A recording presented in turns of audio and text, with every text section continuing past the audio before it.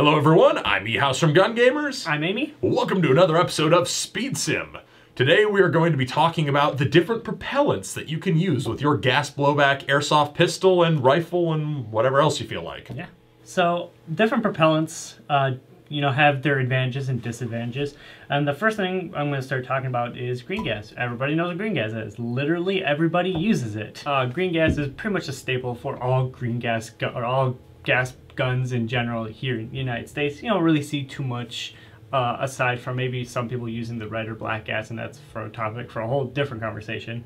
Um, it's great. I mean, there's numerous of different uh, manufacturers that make green gas. Elite Force, Valken, Nuprol, WE. I mean, every, a lot of companies make green gas. Uh, depending on which one is your favorite one, is really up to you. I love Nuprol because it has a little bit more uh, efficiency in cold weather.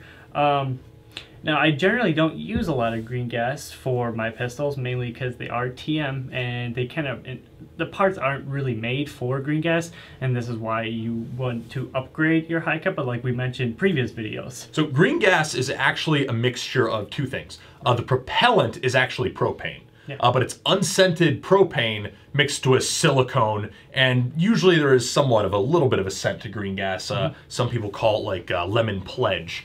Uh, but so that's what green gas is. It is just propane. Now you can buy an adapter and use just propane in your gas blowback airsoft guns. The uh, Airsoft Innovations adapter is something that I think a lot of people have owned at one point or mm-hmm. another.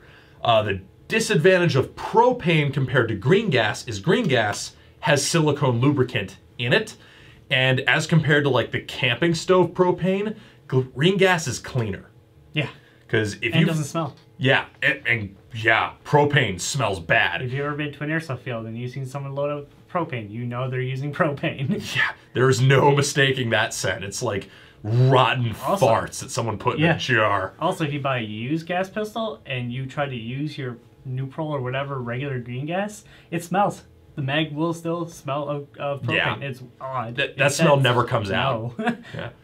Um, but the other thing about propane is you can buy like the uh, the torch style propane. That doesn't smell quite as bad, but that is even like, and it's a little cleaner maybe than the camping propane, but it's not green gas. Green gas is the cleanest, arguably definitely the cleanest and most uh, lubricated propellant that you can use because right. it, it does have the silicone in it. So this is good for just put it in your gun, and the gas is probably not going to be the reason your gun fails. Right. Um, um, one thing that I want to throw in here, though, just because it has silicone in it doesn't mean that you don't ever have to lube your pistol. You still have to do that, yes. regardless. Uh, then there's, as you mentioned, there's like black gas and red gas. Those are just different propellants at higher pressure. Yep. I, uh, someone smarter than me probably knows exactly what the chemical components of those are, but generally speaking, those are also comparable to like MAPP gas uh, which Garrett, I know, yeah. and Joe both use when they want to run gas blowbacks in a little bit of colder weather. Uh, the disadvantage of those is they are higher pressure and they might blow up your nozzle or they might wear out your parts really quickly or they might push your gun into shooting too hot to be usable. Mm-hmm. So definitely weigh your risk versus reward with those. I wouldn't recommend running red gas in like 90% of airsoft pistols, mm-hmm. and I wouldn't recommend using MAPP gas unless you're using a gas blowback rifle in cold weather. Because that's gonna just abuse your parts and your seals. Uh, we have duster gas. Now, I don't have any fancy, whatever Asian product. I have this I bought from Amazon. They come in a six pack, and I just use the Airsoft Innovations adapter. Um, this is perfect for all TM guns. Uh, if you have a, plastic slide gun, I mean, you can use it in pretty much any green gas gun, uh, but typically these are meant for TM because they have plastic slides, and this shoots at a lower pressure, like somewhere between like 70 or 80 psi. I'm not 100% sure. If you know, you can put a comment down below and let me know. Um, so this is perfect for your TM-based pistols because that's what they're typically meant to run on. And I am going to be trying this this year to see how I like it compared to HPA. Uh, duster gas is one of the first gases we're going to talk about, though, that is not in any fashion lubricated. No. uh, so you still have to lubricate and maintain with green gas, yeah, mentioned, mentioned yeah. but you have to be especially diligent uh, with propane and with duster gas and HPA and CO2 Yep. because all these gases are dry gases that don't have lubricant put into them and as a result you're going to wear out and dry out your seals faster if you are not on top of your maintenance. Uh, but duster gas does have the nice benefit of being it is a dry gas but it's low pressure so Yes, as you mentioned perfect for TMs and all Yep. the like. Moving along, uh, we have HPA. Now, a lot of people have been transitioning over to HPA via uh, rifles or gas rifle or even pistols. Most of the time, you see them on pistols now, but again, HPA rifles. HPA really- tapped gas shotguns. Oh, right, tons of those too as Yep. well. Great thing about this, you have a lot of air and you can carry it anywhere with you. Downsides, um, again, like we mentioned with this duster gas, it is dry gas, so you still have to maintain it. Um, but it, uh, does take a little bit uh, finessing to reload. This is kind of a long reload. Um, unlike you know having the gas in your magazine, this you have to undo the quick detach, put it in your dump pouch, grab a new mag, plug it in, and then put it in your gun, and then rack it or, or drop the uh, the slide release, and then you're ready to go. And it does take some people can get really good at it, but just know that it's a long reload.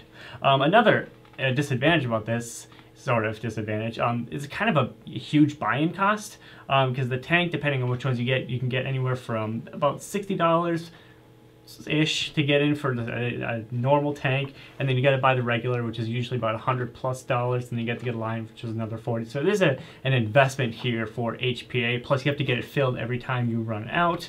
Unlike green gas, you can just buy more cans, and literally every airsoft store has it. Um, so that's another kind of a inherent limitation. Is this, it's, it's kind of a, a large buying cost on top of buying the taps. But the nice part is it's variable pressure Yep. because you have a regulator that's adjustable. Now, this adds to the buying cost because usually they'll still want you to have a tournament lock, um, but you can adjust the PSI, and that means that you can run HPA at duster gas level PSI.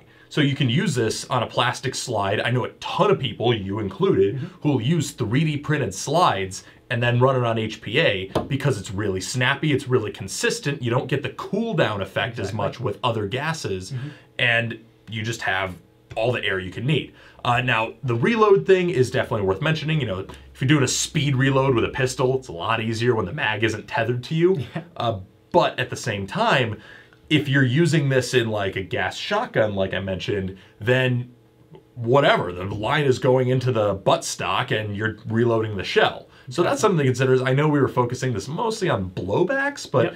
if you have a platform that is non-blowback that's somehow tapped, then a lot of times you can get around the reload issue, which is kind of nifty. Right. And finally, we have this little guy, CO2, in a 12 gram capsule, which is not nearly as impressive a display as these other ones on the table. Uh, but this is CO2, and everyone knows this. And this is probably the second most common next to green gas. Yeah, definitely. Uh, there's a lot of popular guns that use CO2. Uh, the Elite Force and KWC 1911s. Uh, the upcoming Glocks are going to have a CO2 version. There's CO2 mags for a ton of airsoft guns that are on the market. Uh, so, what are the pros and cons of CO2? I'll let you start since I took the dramatic reveal. That's fine. Um, so first of all, pros. Uh, you can get a lot of shots out of your mag. So if you have Hi-Capa, because they make them for Hi-Capa, uh, they have CO2 mags for them. They have, like Eric said, Glock ones. Can't focus right. This is the dramatic reveal, and you're like.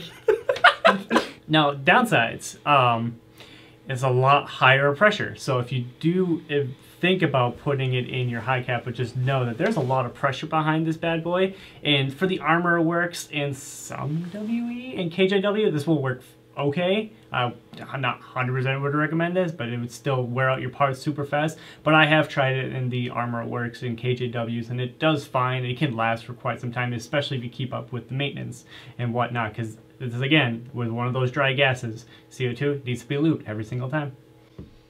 Yeah, uh, that's the thing with CO2 is it can eat parts. Yeah. Uh, the other disadvantage of CO2 is that uh, now Garrett was talking about this because he's a super nerd, and in terms of the chemical properties of CO2, it actually does cool down faster on full auto. Yes. Uh, but if you're not using it on full auto, then that's irrelevant. Most guns don't shoot full auto on CO2 besides uh, Besides like rifles Yeah. or say if you had a G18C. Uh, or the uh, Elite Force 792, I think, is capable of full auto. What is the Elite Force? Um, Uzi? Uh, Yeah, that's. I think that's CO2. Yeah. Yeah, and then there's the upcoming uh, MP40. That's CO2. So bear in mind that you are going to have some cooldown on prolonged full auto bursts with CO2 that's even worse than green gas, uh, if you can imagine. but so, uh, but the thing with CO2 is it's super available. You Oh, can yeah. get this at Walmart. You can get this at Dick's. Dick's. You can get this at Target. You can get you can get this stuff anywhere. You can find CO2 anywhere. It's it's really easy to get, uh, and it's cheap.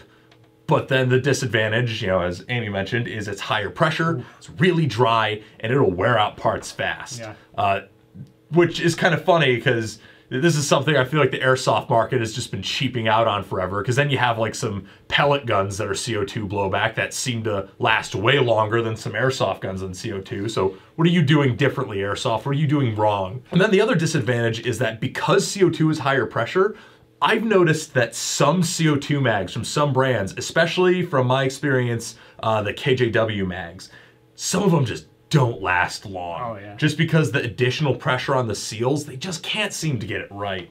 Um, so bear that in mind as you're shopping around. Uh, try to find CO2 mags that are reliable. Uh, but generally speaking, the disadvantages, in my opinion, you know, for some guns outweigh the or don't outweigh the advantages because I quite like CO2. I wish that it was more standard, but you know, that's just me. Right. CO2 is great. Just super high pressure. Yeah, and definitely a maintenance hog. Oh yeah. All right, guys. This has been just a quick kind of look at different propellants and whatever you choose to go down which route. Uh, once again, my name is Amy. And I'm E-House. Thanks for watching, and we'll catch you in the next one. Peace. Thank you for watching this video from Gun Gamers. We hope you enjoyed watching it as much as we enjoyed making it. If you want to see more content from us, hit that subscribe button, and if you want to help support the channel, be sure to click the link below to buy a patch. Praise Judy. There we go. That's- now we're filming. Now, now we're going. You know, I actually had that happen the other day. Yeah. Where the camera was still on photo mode, and I hit the button, thought I was recording, and I went for like 15 minutes Oh, thinking that I was recording video, and then the camera's like sleep mode. I'm like, what? But I'm recording. Oh, you've got to be shitting me. What video was this? It was the uh, the beginner gun video. So what? the beginner gun video. Oh. So I recorded like 15 minutes like of just me recording and doing various takes and doing all that, and then the camera shuts off, and I'm like, I thought I was recording. No, I wasn't. so I felt like a super idiot, but it was uh, it's really funny. I agree. It's hilarious.